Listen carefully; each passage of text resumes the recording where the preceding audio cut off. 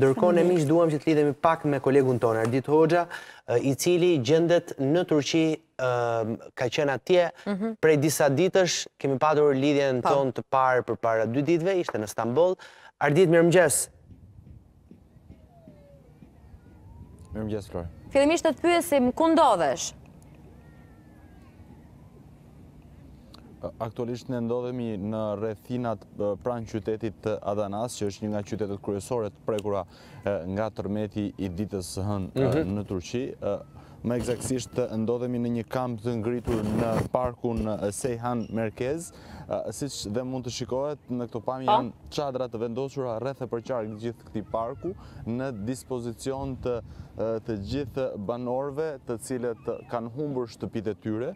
apo ata të cilët në fakt mund të mos i kenë humbur tërësisht Sa persona po qëndrojnë në këtë kampus pra Ardit? Mund të mos jenë shkatërruar tërësisht, por është një numër relativisht i lartë, por fiks nuk mund t'jua jap shifrën, pasi nga komunikimi që kam pasur me disa prej përgjegjësve të këtij kampi, më kanë bërë me dije që numri numri ndryshon pra ka njerëz që vijnë dhe ka njerëz që ikin shumë mhm. prej atyre të cilëve kanë ardhur në orët e para të të ditës së martë në këtë kamp tashmë janë larguar mhm. duke u zhvendosur në qytete të tjera që konsiderohen si zona të sigurta nga lëkundjet e mhm. tërmetit, ndërsa ka dhe të tjerë që kanë ardhur gjatë ditës së djeshme apo dhe që pritet të vijnë Kryesisht të cilës zonë flasim që sjellin rreth e rrotull. Pra, ata të cilët janë duke qëndruar në këtë në këtë zonë. Po, gjithmonë bëhet fjalë për qytetarë apo banorë që vijnë nga fshatra apo provinca rreth Adanas, por edhe nga rajoni i Hajatis, mhm. i cili është në fakt Një nga rajonet më të prekura dhe që rezulton të paktën deri më tani rajoni me numrin më të lartë të viktimave të shkaktuara nga tërmeti i mëngjesit të ditës së hënë. Pra, qytetarë që kanë mbërritur këtu mhm. ose janë sjellë nga autoritetet mhm. turke për të kaluar në një farë mënyre natën të sigurt, mhm. pasi vazhdimisht, jo vetëm në Adana, por Edhe në qytezat e tjera, të paktën gjatë ditës së djeshme, kur ne kemi qëndruar këtu në Adana, vazhdimisht ndjehen lëkundje të të lehta të të tërmetit dhe për shkak të frikës dhe panikut që këta njerëz kanë për shkak për shkak nga tërmeti ose dy lëkundjet e forta të njësit. Lëkundja e fundit, kur e po. ke ndjerë ti vetë atje lëkundjen e fundit? Ka qenë një lëkundje shumë e lehtë në fakt që neve kemi ndier mbrëmjen e djeshme, mhm. por siç e thashë, për neve mund të konsiderohen lëkundje të papërfillshme, pasi janë vërtet të një shkalle të ulët, por për këta banorë të cilët kanë përjetuar momente tmerri, çdo lëkundje e mundshme, jo vetëm tërmeti, por është është e vështirë dhe dhe dhe krijon frikë. Pra, Ardit, sa larg është ky kampi? Nga zonat e shkatërruara, nga zonat ku janë prishur ndërtesat. Dhe këta banorë të cilët ndodhen këtu a kanë në rast ke komunikuar a kanë pasur kanë ju kanë humbur ndonjë familjar i tyre në shembjet që kanë pësuar ndërtesat? Atëherë, kampi fillimisht mund të konsiderohet brenda asaj që quhet si zona e kuqe e prekur nga tërmeti, mhm. por në një zonë pak më të sigurt dhe siç shihet në ambient të hapur, pra edhe nëse vazhdojnë lëkundjet e forta, këtu ndihen të sigurt pasi janë në çadra dhe në ambient të hapur dhe nuk rrezikojnë që t'u bjerë t'u bjerë ndonjë send mbi kokë apo të kenë godina sipër sipër trupave të tyre. Ndërkohë sa i takon familjarëve që këta persona mund të kenë humbur, është e vështirë, Greta, komunikimi këtu në Turqi me banorët pasi në shumicën dërmuese për mos thënë të gjithë këta banorë këtu nuk mund të na përgjigjen pyetjeve tona në anglisht, prandaj edhe komunikimi me ta është i vështirë, por disa prej zyrtarëve të cilët mund të me të cilët mund të komunikonin në anglisht na kanë konfirmuar që të paktën pothuajse të gjithë këta persona që janë këtu kanë nga një ose nga dy familjar apo të afërm të cilët i kanë humbur nga goditjet e tërmetit pasi siç e thashë vijnë nga rajone, qyteza apo fshatra të cilat aktualisht janë, janë të shndërruara në fshatra apo mhm. qyteza fantazmë ku dhe ne, pak, në fakt pas pak do të nisemi për të sjellë Pamje të drejtpërdrejta për shikuesit e Euronews Albania nga qyteza dhe fshatra që tashmë janë kthyer në fantazmë dhe nuk pothuajse nuk ka të banorë përveçse atyre ekipeve të shpëtimit. Po, do të nisemi fill pas këtij raportimi të drejtpërdrejtë, do të mhm. nisemi drejt qytezës së drejt një nga qytezave ku është prekur më shumë në fakt është bëhet fjalë për qytezën e Hatajt ku mhm. raportohet që të ketë një numër shumë të madh të personave që janë ende nën rrënoja, pra flitet për mhm. shifra apokaliptike, të cilat duke qenë se nuk janë të konfirmuara dhe përfliten në në në rrethe të ngushta këtu në Turqi, unë në fakt nuk do doja t'i t'i jepja si shifra pasi po. bëhet fjalë për shifra shumë të rënda dhe gjithmonë do duhet të presim raportimet dhe shifrat zyrtare që na përcjellin autoritetet turke. Po, Ardit ti ke qenë në disa vende, duke qenë se ke prej pak ditësh të cilat në fakt ti ndodhesh në Turqi, mund na tregosh përgjatë këtyre ditëve, cilat kanë qenë dhe ndoshta ngjarjet më të rënda që edhe mund të kesh hasur apo momente të vështira për shkak edhe të lëvizjes nga njëri qytet në tjetrin, ke përjetuar ndonjë tërmet të fortë, ndoshta je ndeshur dhe me lajme të mira që ka pasur edhe njerëz të cilat janë shpëtuar nga rrënojat e ndërtesave, Si është situata atje, sepse është cilësuar dhe si një situatë kaotike në Turqi?